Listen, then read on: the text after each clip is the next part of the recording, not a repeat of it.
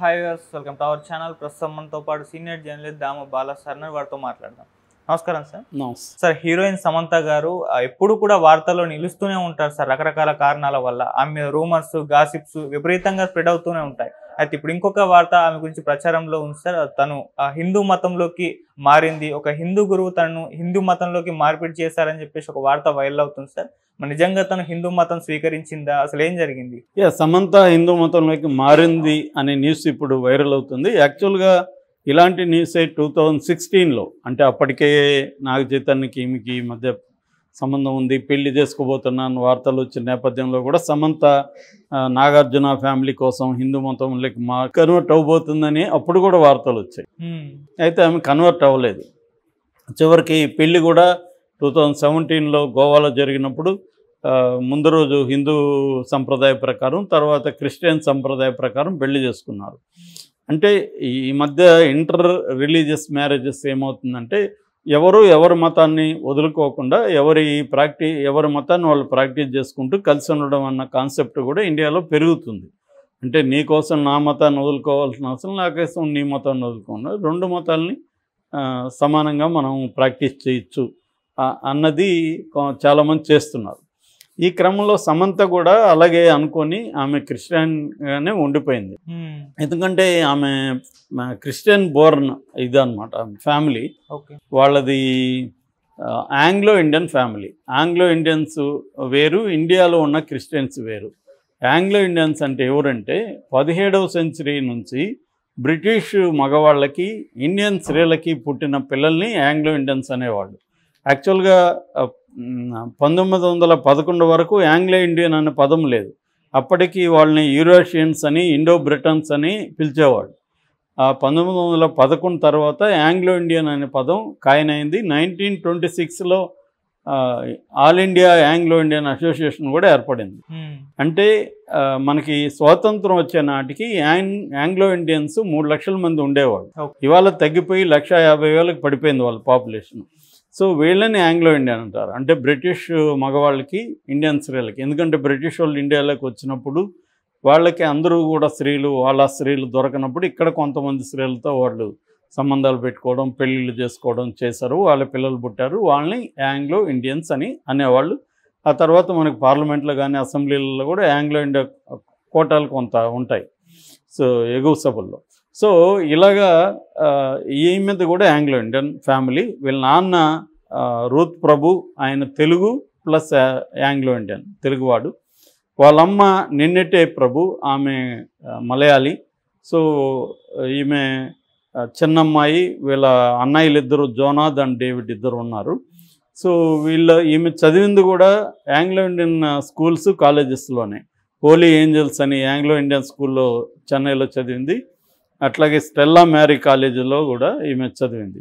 So ఈ Anglo Indians కోసం schools colleges కూడా పెట్టారనమాట అప్పుడు. సో అలాగా ఈమె ఆంగ్లో ఇండియన్ కాబట్టి అంత ఈజీగా కన్వర్ట్ అవ్వరు.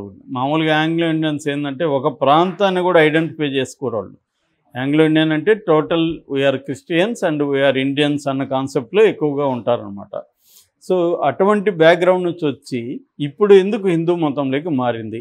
అనడానికి ఏం చెప్తున్నారంటే ఈమెకు మయోసైటిస్ జబ్బు వచ్చింది కదా ఇది కార్పొరేట్ హాస్పిటల్లో కూడా నయం కాలేదు.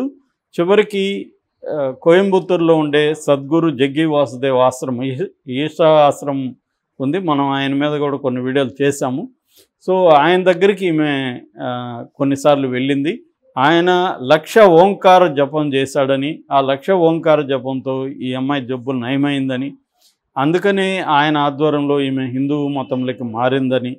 దానికి ఆమె కారణాన్ని కూడా అడిగితే హిందూ మతంలోకి ఎందుకు మారామంటే నాకు ధర్మానుసారం అనేక ప్రశ్నలు వచ్చాయి. ఆ ప్రశ్నలు హిందూ మతంలోనే సమాధానాలు దొరికాయి నాకు.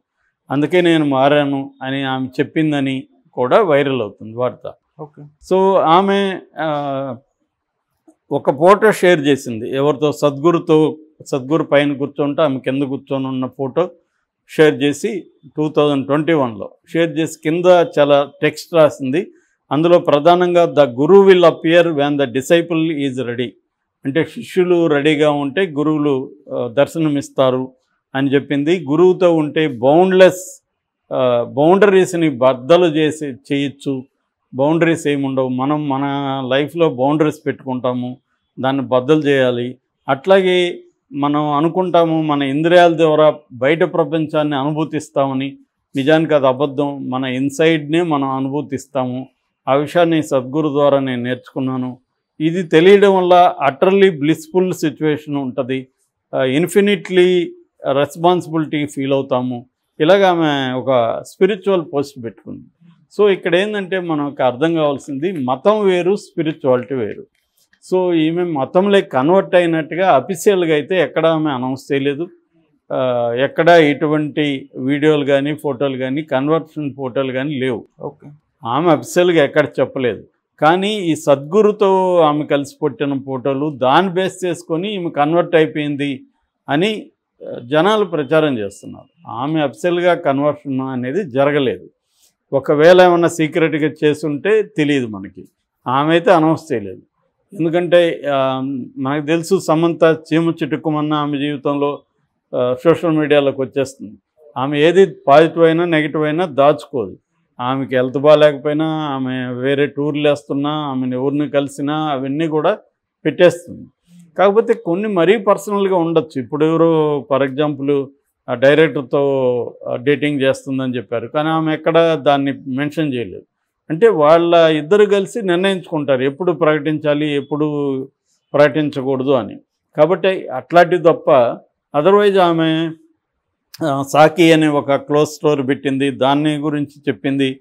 అట్లాగే ప్రత్యూష అనే ఒక ఎన్జిఓ పెట్టి ఆమె అనేక చారిటబుల్ యాక్టివిటీస్ చేస్తుంది. దాని గురించి కూడా అనేకసార్లు పోస్టులు పెట్టింది. అట్లాగా ఆమె ఎక్కడికి వెళ్ళినా ఏం చేసినా పోస్టులు పెడుతుంది. కానీ పెట్టని కూడా ఉండొచ్చు. ప్రతిదీ జీవితంలో జరిగే ప్రతిదీ పెడతారని కూడా ఏం లేదు. వాళ్ళు డిసైడ్ చేస్తారు ఏది షేర్ చేసుకోవాలి ఏది చేసుకోకూడదని. ఏదేమైనా సమంత హిందూ మతంలోకి మారిందనే వార్త మాత్రం వైరల్ అవుతుంది.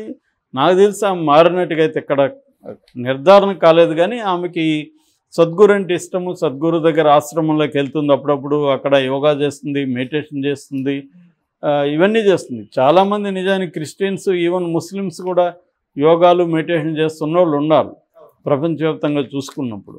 ఎందుకంటే ఇది ఫిజికల్గా మెంటల్గా పీస్ ఇస్తుంది ఫిజికల్గా యోగా అనేది బాడీకి మంచిగా హెల్ప్ అవుతుంది. అట్లాగే మెంటల్గా యోగా మెడిటేషన్ని ప్రపంచంలో అందరూ కూడా దాన్ని అడాప్ట్ చేసుకుంటున్నారు. మెడిటేషన్ మెథడ్ని. ఈవెన్ సైకాట్రీ సైకాలజిస్టులు కూడా మెడిటేషన్ చేసుకోవడం వల్ల మీకు మెంటల్ పీస్ వస్తుంది. ఏకాగ్రత పెరుగుతుంది మైండ్ఫుల్నెస్ అంటే మనం ఏ క్షణంలో ఏ పని చేస్తామో దాని మీద దృష్టి ఈ మైండ్ఫుల్నెస్ పెరుగుతుంది. ఇవన్నీ మెడిటేషన్ ద్వారా వస్తాయనేది చాలామంది చెప్తున్నారు.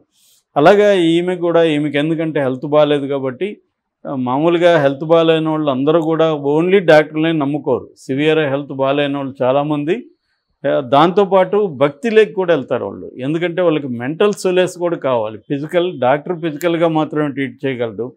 కానీ వాళ్ళకి మెంటల్ సొలేస్ కూడా హెల్త్ బాగాలేనప్పుడు మైండ్ కూడా బాగా డిస్టర్బ్ అవుతుంది. ఫిజికల్గా హెల్త్ బాగాలేనప్పుడు.